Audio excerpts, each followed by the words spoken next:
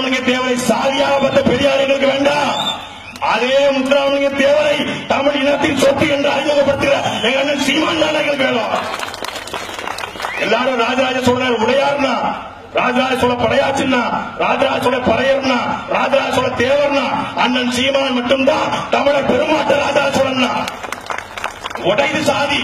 இதுவரைக்கும் எவனவன் மஞ்ச சிவப்பு கயிறு கட்டிக்கிட்டு பச்சை சிவப்பு கயிறு கட்டிக்கிட்டு இருந்தாலும் எல்லாத்தையும் அறுத்து போட்டு பிரபாகரன் டாலர் போட்டு வெளியே வரலாம். தமிழர் நிலத்தில் ஒரு புரட்சி வலிக்குது இளையோர் பட எவனவன் சாதியை மதத்தை பிடித்துக் கொண்டு திரிந்தாலும் அவ்வளவுதான் கட்டி முதல் முறையாக. ஐம்பதாயிரம் ஆண்டுகளில் எவனும் இவ்வளவு திரட்சியா நாம் தமிழரும் திரள என்று மக்களே வெள்ளக்காரன் நாளத்துல கூட சிவகங்கை சீமை திரண்டுச்சு அங்க புலித்தேவன் தனியா போராடினாரு அலமுத்துக்கோன் போராடினாரு தீரன் சின்னமலை போராடினாரு தனித்தனியா போராடினாங்க ஒட்டுமொத்தமா போராடல. இந்தியாவுக்கு போராட்டம் கூட அங்கங்க நடந்துச்சு. ஒட்டுமொத்தமா தமிழனாக தமிழ் தேசியமாக கட்டமைக்க முடியல. தமிழர் நிலத்தில் முதல் முதலாக நாம் தமிழன் திரண்டிருக்கிற ஒரே காலம் சீமானந்தன் காலம் மட்டும்தான். இதற்கு முன்பாக ஈழத்துல நமது தலைவர் பிரபாகரன் தலைமையில விடுதலை புலிகள் நாங்கள் தமிழர் என்று திரண்டார்கள் அதற்கு பிறகு தமிழர் நிலத்தில் இப்பதான் கூடுறோம். கூட ஆரம்பிச்சிருக்கிறோம்.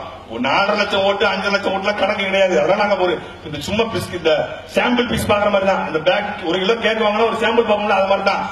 மொத்த ஓட்டையும் நாங்க வெல்லுவோம். அது வரைக்கும் வாய இல்ல எங்களுக்கு வயசு இருபத்தெட்டு முப்பது தான். எங்க அண்ணன் உருவாக்கி விட்டுருக்காரு. சீமான கைது கை- கைது பண்ண போறதா சொல்லிட்டு இருந்தாங்க. நீ எந்த சீமான கைது பண்ண போறன்னு தம்பி போடுனா எந்த சீமான? கருணாநிதி என்றால் இருக்கிற செத்த பிறகு ஸ்டாலின் செத்த பிறகு ஸ்டாலின் கிடையாது. விஜயகாந்த் என்றால் விஜயகாந்துக்கு பிறகு விஜயகாந்த் கிடையாது. ஆனால் சீமான் மட்டும்தான் தான் இருக்கிற பொழுது லட்சக்கணக்கான சீமான்களை உருவாக்கி வைத்திருக்கிறார் எனக்காக படிக்க எனக்காக படித்து முடித்து வேலைக்கு போய் பெண் பிள்ளை பெண் பெண்டாட்டி பிள்ளையை காப்பாற்ற வேண்டிய இந்த இளம் வயதிலே அண்ணன் சீமானின் கரத்தை பிடித்திருக்கிறான். அதனாலதான் திருநெல்வேலி மாவட்டத்தில் சாதி ஊறி போன ஒரு மாவட்டத்தில் பிறந்த பையன். இன்னைக்கு சாதி மறுப்பு திருமணம் செய்திருக்கிறேன் என்றால் அதுக்கு காரணம் என் அண்ணன் சீமான் தான். என் தாய் எனக்கு சொல்லல என் மகனே நமது தாய்மொழி தமிழ் அது நம் தாய்மொழி தமிழோடு பிறமொழி கலந்து பேசக்கூடாது என்று என் தாய் எனக்கு சொல்லித் தரல.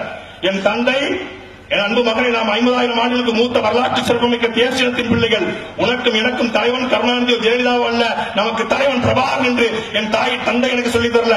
எனது ஆசிரியர் எனக்கு என் அன்பு மாணவனே நாம் ஐம்பதாயிரம் ஆண்டுகளுக்கு மூத்த வரலாற்று சிறப்புமிக்க இனம். நமக்கென்று தனியே இலக்கியம் கலை பண்பாடு எல்லாம் இருக்கிறது என்று என் ஆசிரியர் எனக்கு சொல்லித் தரல. என் தாய் சொல்லாதே என் தந்தை சொல்லாதே என் ஆசிரியர் சொல்லாதே எனக்கு சொல்லிக் கொடுத்தவன் என் அண்ணன் சீமான். அதனால அவன் கலைஞரை பிடித்து நிற்கிறோம் பிடித்து நிற்கிறோம் நாங்கள் இளைய பிள்ளைங்க நீங்க சொன்னீங்க படிச்சவன்லாம் அரசியலுக்கு வரணும்ப்பா பூரா. காவோட போயலா இருக்கிறான். முள்ள மாதிரியா இருக்கிறான். முடிச்ச வித்தியா இருக்கிறான்.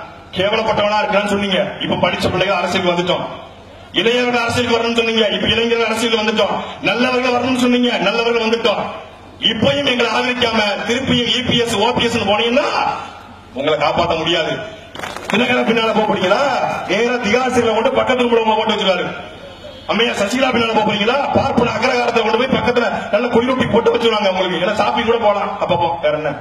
இன்னைக்கு பாருங்க இந்துத்துவ அரசியல் இந்துத்துவ அரசியல் என்ன கூட புரியல. என்ன இந்துத்துவ அரசியல் அப்படின்னு ஒரு சந்தேகம் இருந்துச்சு. இந்துத்துவ அரசியல் என்ன தெரியுமில்ல? ஒருவர் தமிழை நேசித்து தமிழில் படித்து தமிழிலேயே தன் வாழ்வியல் நெறியாக ஏற்றுக்கொண்டு உலகமே ஒரு மரணத்துக்கு அழுது உலகமே. நமது தாத்தா ராமேஸ்வரத்தில் பிறந்த அப்துல் கலாம் அவர்கள் அவருடைய மணிமண்டபத்துல மணிமண்டபத்துல அவர்களுடைய படத்தை அவருடைய சிலையை வைத்து அந்த சிலைக்கு பார்த்தா பகவத்கீதை ஒன்று வைக்கிறான். எதுக்கு கேட்டா? அவர் ந- பகவத்கீதை அடிக்கடி படிப்பாரு. அவர் ஒரு லட்சம் புத்தகம் புத்தகம் படிச்சிருக்காரு. அவ எல்லாத்தையும் கொண்டு போய் அவர் பகவத்கீதையை படித்தார். குரானை படித்தார்.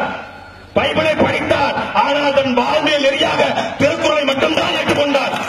எல்லா கல்லூரிகளுக்கும் செல்கிற பொழுது எந்த பள்ளிக்கு சென்றாலும் கல்லூரிக்கு சென்றாலும் தொட்டனைத்தோடு மணற்கேணி மாந்தருக்கு கட்டளைத்தோடும் அறிவு என்று குரலை சொல்லாத ஒரு வழி வந்தது கிடையாது. எல்லா பொறியியல் பொறியாளர்களையும் சந்திக்கிற பொழுது அவர் சொல்வதெல்லாம் முய்- தெய்வத்தால் ஆகாது எனினும் முயற்சி தன் மெய்வருத்த கோயிதன் என்று பகுத்தறிவு கொள்ளை சொன்னவர் அவர். ஒவ்வொரு முறையும் ஐநா மன்றத்தில் பேச வாய்ப்பு கிடைக்குது. ஆஹ், பார்லிமெண்ட்ல பாராளுமன்றத்துல பாராளுமன்றத்தில் கூட யாதும் ஊரே யாவரும் கேள் என்று பதிவு செய்தவர். அவருக்கும் பகவத்கீதைக்கு என்ன சம்பந்தம்? என்ன சம்பந்தம்? இன்னைக்கு அவர் பேர அவர் மோடி ஐயா திறந்து வச்சார் பகவத்கீதை இருக்கிற மாதிரி ஒரு இதை. இப்ப அவர் அப்துல் ரஹ்மான் ஐயாவுடைய அண்ணன் மகன் பேரை வந்து குரானையும் பைபிளையும் கொண்டு வச்சுட்டு போயிட்டாப்ல எவ்வளவு பெரிய அசியம் நாட்டின் பிரதமருக்கு இதை விட கேவலம் எதுவும் கிடையாது. ஆனா இவங்க கிட்ட கேவலம் சொன்னோம்னா முத முறையா அசிங்கப்படுறாங்க. அதனால அப்படி துடைச்சிருவாங்க. ராஞ்சி சம்பத்தி துடைச்சு தூர போட்டுருவேன். யாராவது துப்புன என்ன பண்ணுவீங்க? துடைச்சு போட்டுருவேன். அப்படின்னு துடைச்சு போட்டுருவாங்க. அது பிஜேபி காரனுக்கு ரெண்டு பேரை கேட்டா பயப்படுறான். பிஜேபி காரனுக்கு. ஒன்னு சீனா. இன்னொன்னு அண்ணன் சீமான். தௌசண்ட்ல போயிடுறாங்க அப்படியே தள்ளிடுறாங்க. வடிவேல் மாதிரி தான் ஐயோ போயிருச்சே போயிருச்சே அப்படிங்கிறாங்க. வேற யார நம்பி போறீங்க தீபாவளி நம்பி போறீங்க போறீங்களா முக்கு முச்சு முச்சத்தில் உட்காந்து பிச்சை தான் எடுக்கணும். தீபா பின்னால போய் போனா. யார் நம்பி போவீங்க? உங்களுக்கு யார் இருக்கா சொல்லுங்க பாப்போம். ஓபிஎஸ் உங்களை காப்பாத்து வரா. நெடுவாசல் கதிராமங்கலம் நீட் தேர்வு மாட்டி அடிச்சு இதற்கெல்லாம் கருத்து என்ன? சொல்லுங்க பாப்போம். எத்தனாயிரம் பேர் ஓபிஎஸ் பின்னால திருமணம் சொல்றீங்களே. அப்படி கருத்து என்ன? ஐயா எடப்பாடி பழனிசாமியோட கருத்து என்ன? ரஜினிகாந்த் அரசுக்கு வந்து அவர் பின்னால போறீங்களா? சொந்த மக தாலி எடுத்து வந்து நிக்கிறா. அவன் வருமானம் கூட சேர்த்து வைக்க முடியல. வீட்டையே காப்பாற்ற முடியாது. இவரு நாட்டை காப்பாற்ற போறாரா? இதை பின்னால போறீங்களா? இல்ல கமலஹாசன் பின்னால போறீங்களா? இல்ல திமுக ஏஜெண்டா இருந்து செயல்படுவாரு. யாரை நம்பி போறீங்க? உங்களை காப்பாற்ற ஒருத்தம் கிடையாது. உங்களுக்கு அழுகை வந்தா துடைப்பதற்கு சந்தோஷம் வந்தா உங்களுக்கு கை கொடுத்து பாராட்டுவதற்கு இந்த மண்ணிலே ஒரே கட்சி நாம் தமிழ் கட்சி மட்டும்தான். நம்பி நம்பி ஏமாந்தது போதும். உங்கள் பிள்ளைகள் வந்திருக்கிறோம். எங்களை ஆதரித்து நெல்லுங்கள் அன்பிற்குரிய மக்களே. இந்த மண்ணில் நடக்கிற அத்தனை நல்லது கட்டையும் நீ தீர்மானிக்க போறது நாம் தமிழ் மட்டும்தான். வாய்ப்புக்கு நன்றி வணக்கம். நாம் தமிழர் நாமே தமிழர்.